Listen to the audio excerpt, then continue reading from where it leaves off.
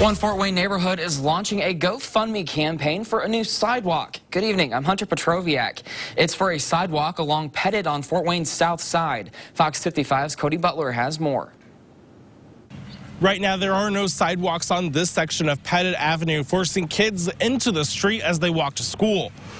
Parents say they've had enough, and now they're working with the city to put a sidewalk in. Dozens of kids live in the Woodhurst neighborhood near Foster Park. That's why their parents are working with the city to put in a sidewalk on one block of Pettit.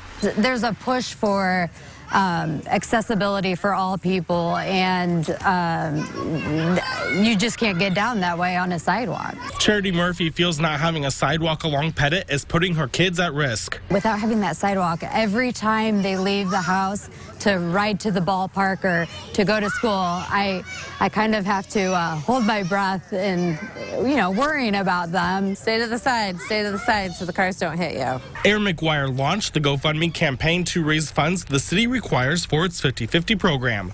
The campaign has raised more than half of its 4,000 goal in just a few days. We're getting donations from people that don't live over here. We're getting donations from people that don't live in Fort Wayne, who don't live on this side of town. So, yeah, we're very surprised. The city's 50 50 program is where homeowners come up with half the money and the city pays for the rest.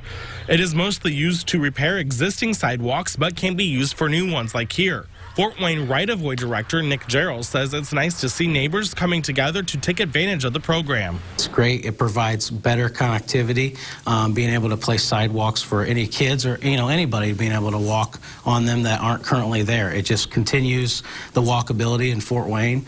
If the GoFundMe campaign reaches its goal, the sidewalks should be in place here this summer. In Fort Wayne, Cody Butler, Fox 55 News.